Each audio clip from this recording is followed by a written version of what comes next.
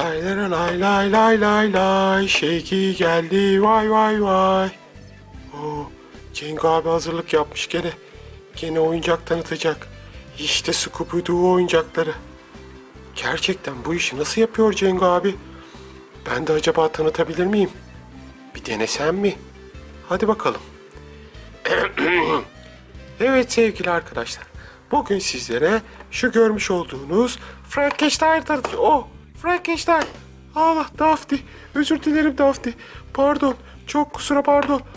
Aa, iskelet adamını devirdik. Her şeyi devirdik. Galiba bu iş benim yapacağım iş değilmiş. En iyisi ben kimse fark etmeden buradan kaçayım. Hadi Şeki gidiyor vay vay vay. Her yeri dağıttı vay vay vay. Allah Allah. Bu oyuncaklar niye dağılmış böyle? Hepsini yerine koymuştum. Tekrar düzelteyim. Herhalde rüzgar geldi. Bu oyuncakları dağıttı. Şimdi şu kamerayı da güzelce bir ayarlayayım. Tekrar düzelttik. Nasıl oldu anlamadım bir türlü. Şimdi hazır. Evet, birazdan çekime başlayıp bu oyuncakları arkadaşlara tanıtayım. Evet arkadaşlar, Scooby-Doo diğer oyuncaklarında olduğu gibi kutumuzun arka tarafında Scooby-Doo gizem avcılarının diğer figürlerini görebiliyorsunuz. Bunların çoğunu açtık. Artık elimizde az bir karakter kaldı. Onları da açtıktan sonra Scooby-Doo gizem avcıları serisini tamamen tamamlamış olacağız. İşte bugün bu üç tanesiyle tanışacağız. İlk önce hangisinden başlayalım? Tabii ki ilk önce iyilerden başlayalım ve kötülere müsaade diyelim. İşte karşınızda arkadaşlar bugün Daphne'miz var. Onu hemen kutusundan çıkartıyorum. Evet gel bakalım Daphne. Şöyle alalım. İşte karşımızda Daphne'miz. Scooby-Doo gizem avcılarının korkusuz kahramanı.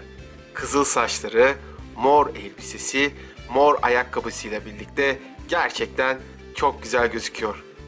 Ve diğer Scooby-Doo karakterlerinde olduğu gibi çok rahat bir şekilde kollarını ve ayaklarını oynatabiliyorsunuz.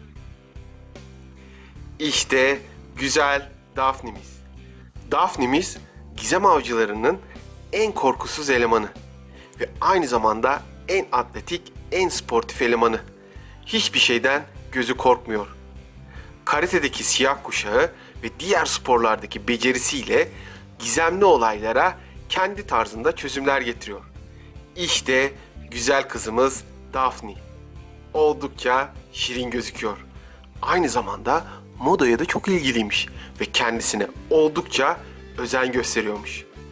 İşte Daphne'miz. Onu şu şekilde buraya koyalım. Şimdi diğer karakterlerimizden acaba hangisini açsak? Daphne, senin bir fikrin var mı? Hayır Cengo abi, gerçekten yok. Şöyle bir baktığım takdirde hangisi güzel giyinmiş? Kırmızı bir kazağın üzerine mor bir ceket. Hmm, çok tarsın. Bu da kemikli bir şeyler giymiş ve sevimsiz gözüküyor. Bence Frankenstein'dan başlayalım Cenk abi. Tamam Daphne, senin dediğin gibi olsun.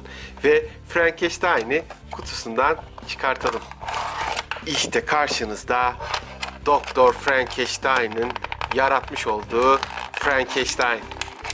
Oh, kutusundan çıkartmak da bayağı zormuş. İşte karşınızda uzun elleri, yamuk omzu ve boş bakışlı gözleriyle Frankenstein. Oo. İşte kötü karakterlerimizden bir tanesi.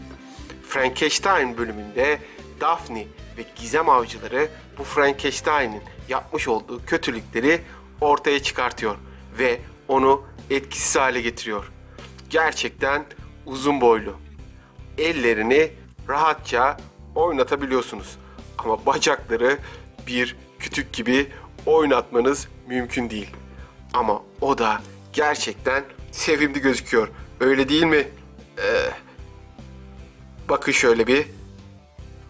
Yakından da bakalım. Frankenstein'imiz. Boş bakışlı kahramanımız ya da kötü karakterimiz. Onu da Daphne'nin yanına koyalım.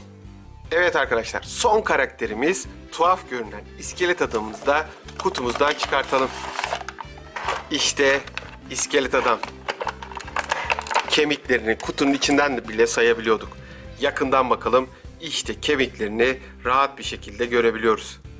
Aynı zamanda tuhaf olan 3 tane parmağı ve ayak parmağıyla birlikte iskelet adamımız. Tek gözü daha da tuhaf durmasını sağlıyor. Aslında iskelet adam iskelet kostümü giymiş kötü bir gruptan oluşuyor ve bu grubun amacı kendileri için önemli olan eşyayı çalabilmek.